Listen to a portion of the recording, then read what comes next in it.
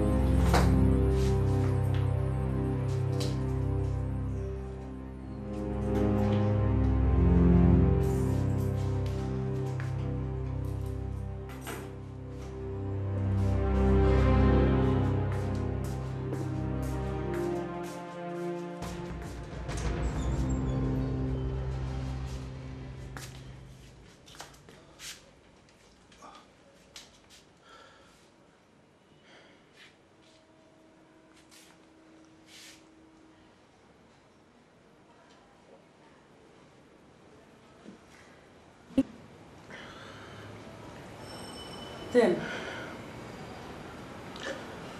এত রাতে শরবত খেতে চাইলেন আপনার কি শরীর খারাপ লাগতেছে? আপনি শুয়ে পড়েন, আমি আপনার হাতে পায়ে তেল মালিশ করে দিই। তুমি ঘুমাও, আমি একটু বুঝতে আসি।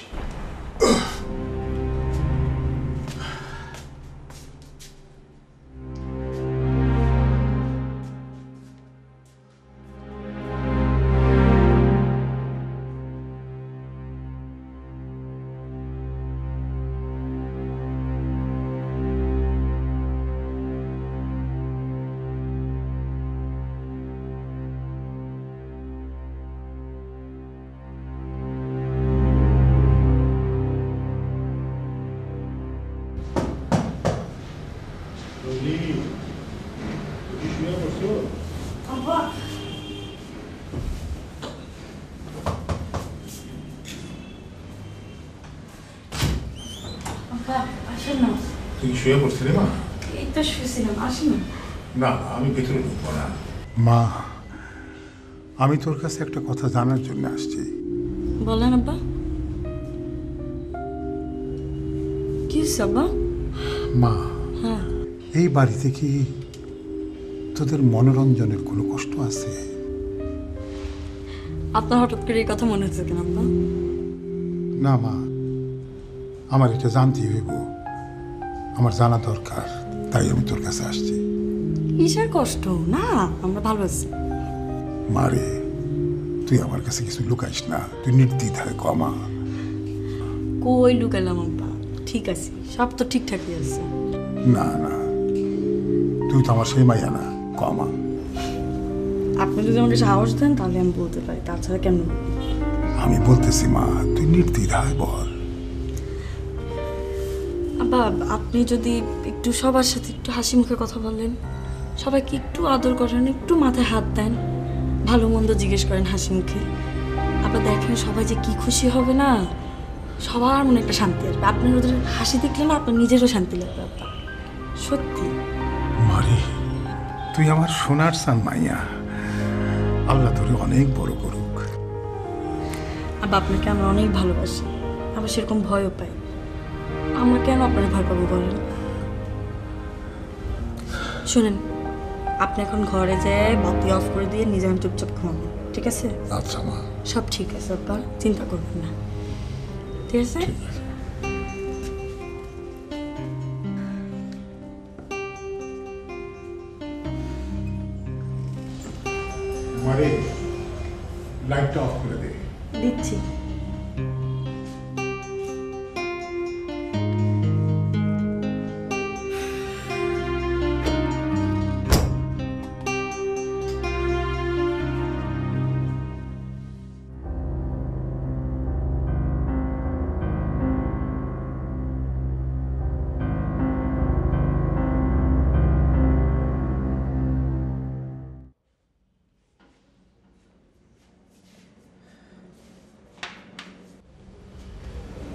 গরম হচ্ছে নাকি দেখো?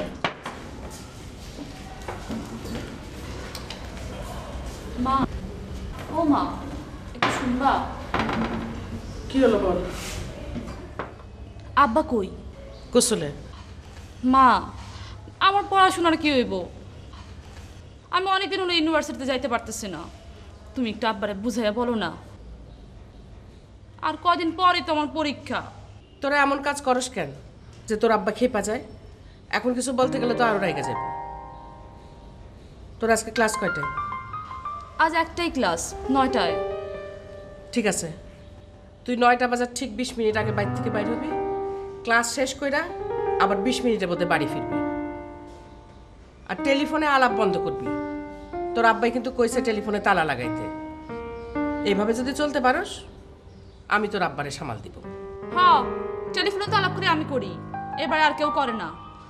আমি ছোট বইলা তোমরা সবাই আমার বেশি বেশি শাসন করো। টেলিফোনে আর কেউ আলাপ করল কি করল না, এটা তো তোর দেখার বিষয় না। এটা আমরা দেখ। তুই তোর মতো ঠিকঠাক চলবি।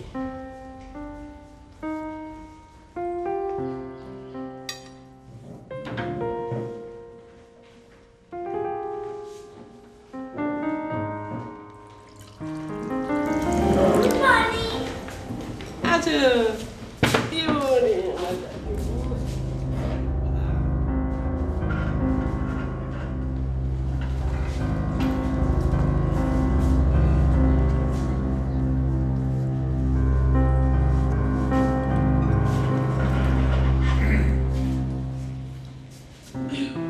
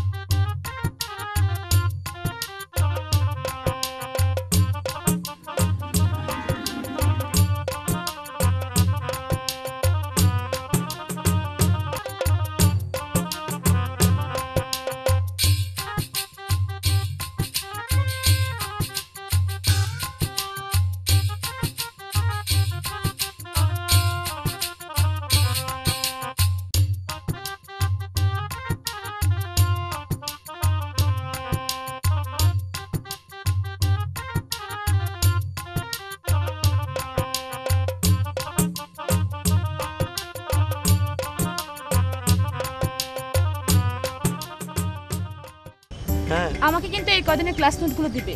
ক্লাস নোট ছাড়া তো আমি আবার পরীক্ষার খাতায় কিচ্ছু লিখতে পারব না। আরে বাবা ক্লাস নিয়ে কোনো চিন্তা করো না। জাস্ট আমার সাথে ডিসকাস করলেই চলবে। একদিন পরে ইউনিভার্সিটিতে এলে বলে একটু ঘুরতে আসতে পারব।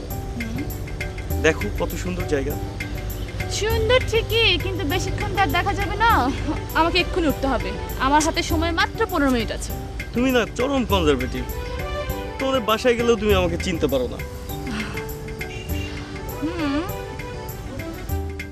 তার যে হাফ অ্যান আওয়ার প্লিজ বসে যাও। হাফ অ্যান আওয়ার শোনো ক্লাস শেষ করার বিশ মিনিটের মধ্যে আমাকে বাসা পৌঁছাতে হবে। মাকে কথা দিয়ে এসেছি। আর সেই অনুযায়ী যদি না চলি তাহলে ইউনিভার্সিটি আসে আমার বন্ধ হয়ে যাবে। বুঝছ? আচ্ছা ঠিক আছে। তাহলে তোমাকে চলো বাসায় পৌঁছে দিয়ে আসি। বাসা না না কেউ দেখে ফেলে সমস্যা হয়ে যাবে। তার চেয়ে বরং একটা রিক্সা ঠিক করে দাও আমি চলে যেতে পারব। আচ্ছা ঠিক আছে দেবো। কিন্তু পাঁচ মিনিট অন্তত বসে যাও। পাঁচ minute yeah only five minutes okay বসলাম বলো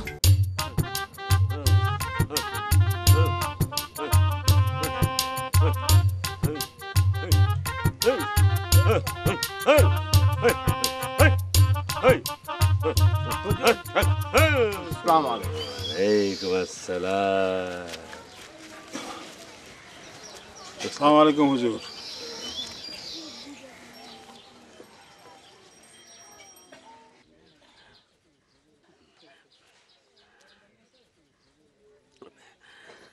আজ রাইতে আমি তোর বাড়িতে পাহারা বসায় দেব। সামনে তোর সুদিন আছে। তোর উপর কোনো বিপদ আসতে পারবে না। একদম ডরাবি না। হুজুর আমার মনে তো কোনো শান্তি নাই। আমি কি নির্বংশ হয়ে যাব? আরে না। কাইলাই যে আমার কাছে ইত্তেলা পাঠানো হয়েছে সেই মতোই তো বিধান দিতে আমি বসছি।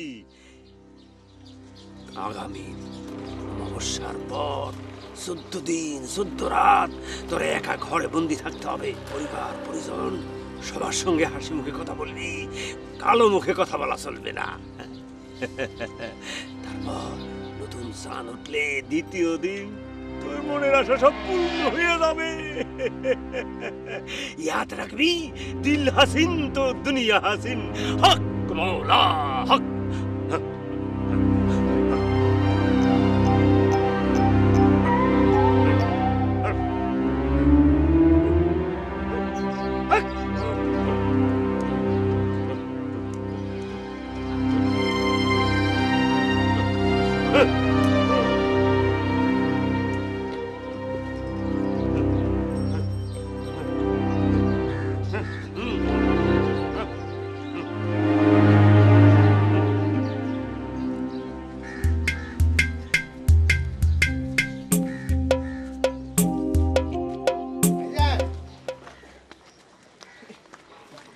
ভাইজান, আপনি একটু কষ্ট করে একা একা বাড়িতে যান। আমি একটু হুজুরের কাছে বসি। দিনের কথা বলেন তো, শুনতে খুব ভালো লাগে।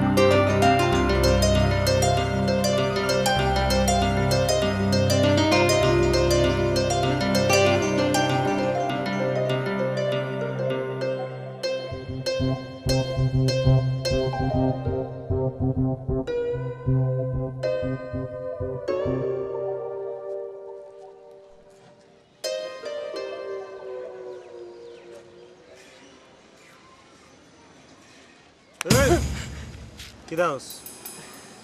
লিমন ভাই আমি না মাঝে মাঝে একটা স্বপ্ন দেখি। আপনার কইছি না সেই স্বপ্নের মধ্যে ঠিক এরকম একটা জিনিস দেখি। কিন্তু আমি চিন্তা করি এই জিনিস আমি স্বপ্ন দেখব কি লিগা?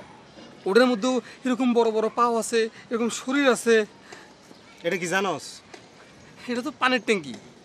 আচ্ছা লিমন ভাই পানির ট্যাঙ্কির মধ্যে কি সত্যি পানি থাকে? চিকন একটা সিঁড়ি দেখা যায় দেখছস? হ্যাঁ ওই যে। সিঁড়িতে উঠে যা। উপরে গিয়া দেখবি বড় একটা ঢাকনা আছে। ঢাকনা খুলে ভিতরে কি দেয়া দেখি আছে। ওটার ভিতরে কি আছে? ওটার ভিতরে আসলে একটা ভূত থাকে। না না কি কোন ভূত থাকে? ভূত থাকব কেন? ভিতরে এটা তো পানি। আরে ভূত থাকে বেটা। আব্বা জানার মাথায় ভর করছে। তোর মাথায় ভর করছে। তোমরা দুজনে মিলে স্বপ্ন দেখো। আমি অবশ্য ভুট্টারে মাঝে মধ্যে চিকন সিঁড়িতে উঠা খাবার দিতে যাই খাবার। কি যাতা কোন আপনি? খায় নাকি কিছু? বুধ খাব কি লিগে? তুই যা তুই যা তুই তুই যাবি যাবি? না না আমি উপরে যাব কেন সুখে আছো তো? খারা খারা পানির ট্যাঙ্কি ঠ্যাঙ্গনো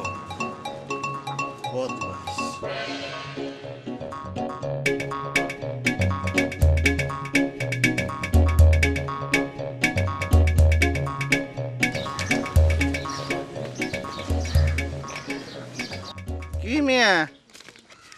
দেখ কত টাকা হইল? খুব একটা বেশি না বেশি না।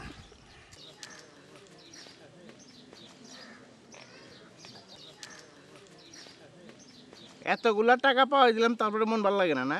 পেট ভরে না। দেখেন এইসব দুই নম্বরই কামে আমার ফিস কিন্তু অনেক বেশি। কি? দুই নাম্বারই কাম? তারই জুলাই ফকিরে সাইজা বই রয়েছো না? এই বেটা তোমার মাথায় তো ছাগলের সমানও বুদ্ধি নাই। আমি তো ইশারা না করলে সব কিছু বন্ডল করে দিছিলাম একেবারে ফকির হইছে। শোনেন আমার সঙ্গে তমিজ করে কথা বলবেন। বেতমিজের মতন কথা বললে না কপালে আপনার খারাপই আছে।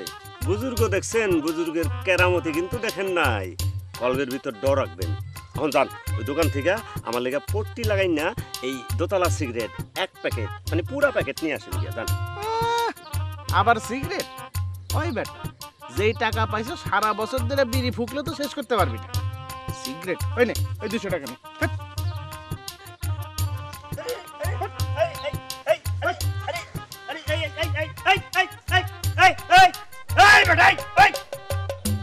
আছে, আমার মতো করে তুই বেজত করে গেলি। ইয়াদ রাখবি? তোর কপালে খারাপই আছে, খারাপই। কাল লগে কথার পর খেলাম করছস তুই? টের পাস টের পাবি। একদিন তুই টের পাবি হ্যাঁ একদিন টের পাবি।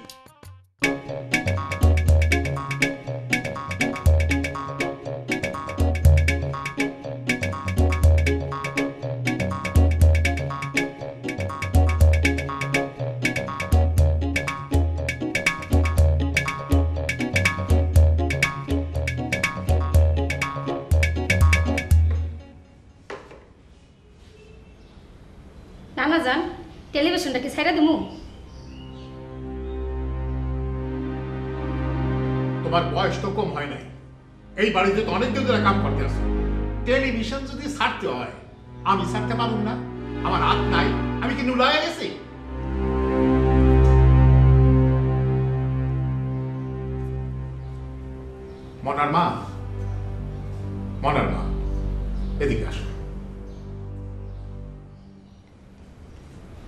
কথায় তুমি মনে করো কষ্ট নিও না। আমার জন্য এক গ্লাস পানি নিয়ে আসো।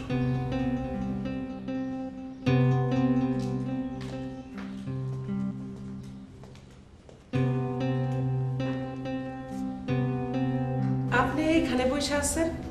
আপনারা দোকানে যাইবেন? হেনা আজকাল বাড়ির সবার জন্য একটু ভালো মন্দ রান্ধ আর আগামী দশ পনেরো দিন আমি দোকানে যাব না। ওই লিমন একটু বুঝাই সুঝাই দোকানে পাঠাই মনার মা? তোমার মনার খবর কি? টাকা পয়সা পাঠাতো না না যান আপনাকে দোয়ায় আমার মনা অনেক ভালো আছে। ওর মালিক ওর উপরে খুব খুশি। ওরে নাকি নতুন জামা জুতাও কিনে দিছে। গেল মাসে আমার লেগে তিনশো টিয়াও পাঠাইছে। এই আগামী মাস থেকে মনার মার বেতন আরও পঞ্চাশ টাকা করে বাড়ায় দাও। কি মনার মা? খুশি তো? খুশি মানে? নানা যান আপনার উপরে আমি অনেক খুশি। আল্লাহ আপনার একশো বছর বাঁচায় রাখুন আল্লাহ আপনার মনের আশা পূরণ করুন মরার মা আমার পানের ডিব্বাটা নিয়ে আসো তো আপনি এই যে পনেরো দিন দোকানে না যাওয়ার সিদ্ধান্তটা নিলেন এটা খুব ভালো কাজ করছেন। কয়দিন ধরেই তো দেখতেছি শরীরটা বেশি ভালো যাইতেছে না। কাজ তো সারা জীবনই করলেন। এখন একটু বিশ্রাম নেওয়ার দরকার। আমি ঘরে যেতে আসি কেউ জানি আমার বিরক্ত। কেউ জানি আমার বিরক্ত না।